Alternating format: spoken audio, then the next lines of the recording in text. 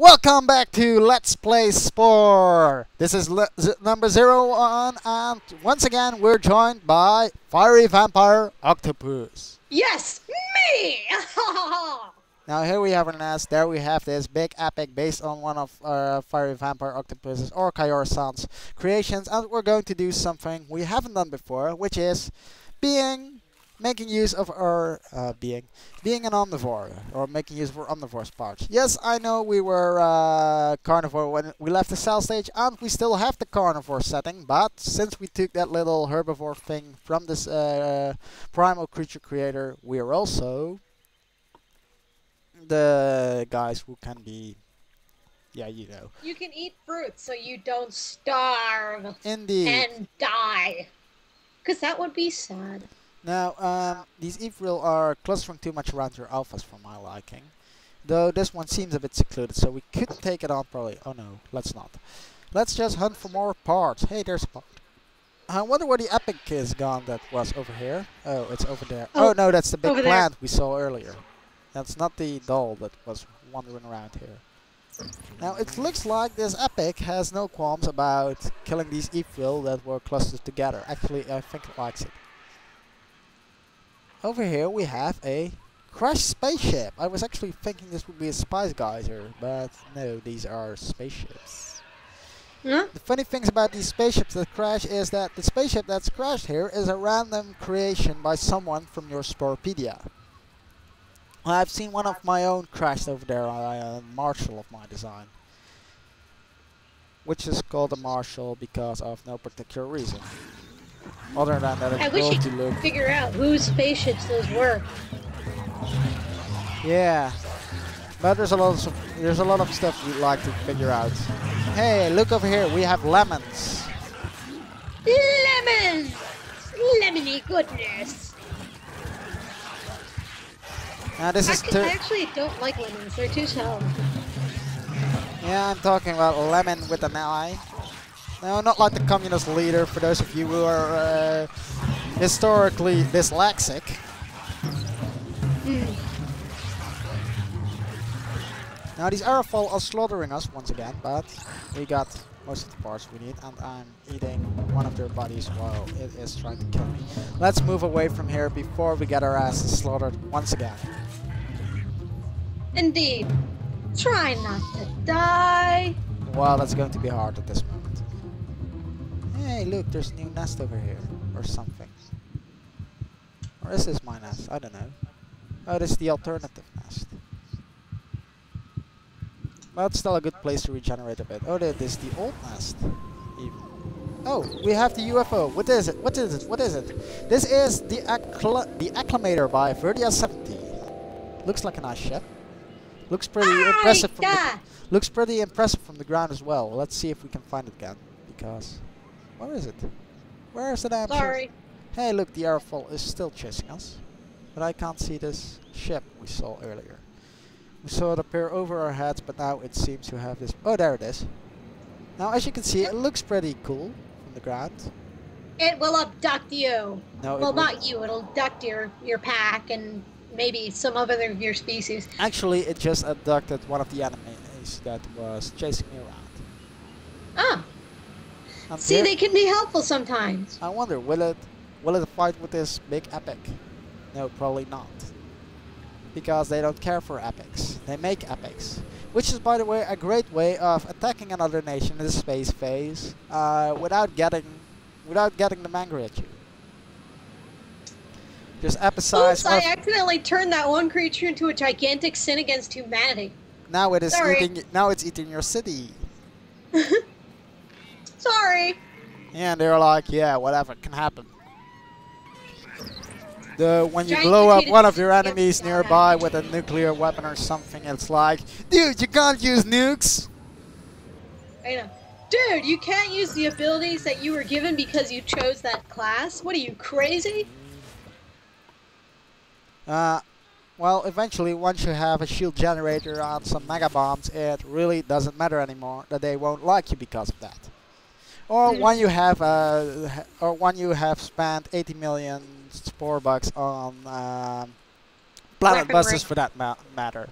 In that case, it's just you start eradicating every empire that goes to war with you, or even starts to dislike you because you use something that was against the galactic code. And actually, the uh, the Grox like it when you break galactic code. Yeah, unless you break it on them. Yeah. Hey, wait a second. Did I just spoil something? Ah, probably, but we're not going to try and ally the Grox, so that's probably not We're not going to try to destroy them either. No, we're just going to make them so that they won't attack us constantly, and then we're going to make our way to the center of the galaxy, hopefully without getting killed. Just like we're going to do here. Look! Hey, I escaped them! Shiny bones! Haha, you never will catch me. Anyways, I wonder what parts we have available to us, because really, maybe we can do a little. Oh, I wonder, I wonder, I wonder. Yes, we have the shortened snout, the part that I want to give my little sin against humanity laptop thingy. But let's first do the little dance of friendship with this guy. You mean dance of mating? No, I mean dance of friendship. I want, I want him to join my club. Join the club, idiots! Oh, right. Not By the way. That one you uh, that one you allied with, or rather got in your club beforehand, that was your mother! Yeah, who cares? And you called it a guy. Maybe they're like, uh, what's it called? Seahorses. Yeah. Or perhaps they're all hermaphrodites. Yeah, that's possible too. Well, they are all reptiles, so maybe they're like frogs or something. Froggies! Well, technically they're all digital uh, creatures, so yeah, they probably They're all digital, non existent things in a fantasy world where dancing makes you have babies. Yeah. That's not how it works! Hey, don't tell those people at the disco. Imagine what would happen then. You're doing it wrong! Going to the disco and with a chart and stuff and go give an anatomy lesson. You're doing it wrong. Then again, if you, this is supposed to be an accurate representation of evolution and of, you know, the origins of life, Yeah, it feels. Steve Jobs fucked up big time. hmm But it isn't supposed to be that. It's just supposed to be fun. Yep. This is about as accurate as Evo Search for Eden, which I'm totally not going to be let's playing wink wink hint hint nudge nudge, insert random friggin' uh what do you call it? Shameless plug here. I don't even know that game, so yeah, who cares? It's an SNES game. It's a pretty good one too. Oh. But it, I mean, it tries to stay in reality, but it, at one point it's just sort of like, fuck that. I want to rape space time. ah. You'll see what I mean. Once But yeah, I start getting into it. I have to actually beat the game on my own first, though. Yeah, everything sci-fi that we know actually rapes space-time. So mm. yeah, or actually most of it. Because pe- because people, there is no way to travel faster than light, except if you have infinite energy or an infinitely small mass. And even then, you're not traveling faster than light. You're traveling at the speed of light. Yeah, which is pretty slow compared to the size of the universe.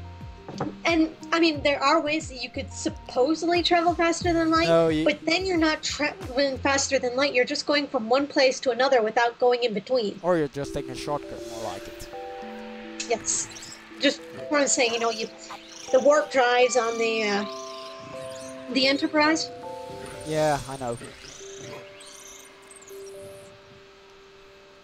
I was personally thinking of wormholes, though. Yeah, same thing. Yeah, let's sing while you dance. Hey, he really doesn't like that. It's not working for me. Then do the dance together. Do the Brady dance. Yeah! Did you say do the rabies dance? no, I said something around. I think Brady dance, but yeah. Rabies dance, Do dance, the son. rabies dance. Do do do do do do do do do do do do do do rabies. oh no, the rabbi has rabies. Well, that guy over there looks like he has rabies. At least he's overly aggressive and he's trying to kill us. But yeah. Rabies. No. We're going for rabbit rabbit stamp. No, isn't it more like Yeah, more like that. Y- Oh, and time's up again. This was Let's Play Spore with Aecius on Fiery Vampire Octopus. See ya later, people.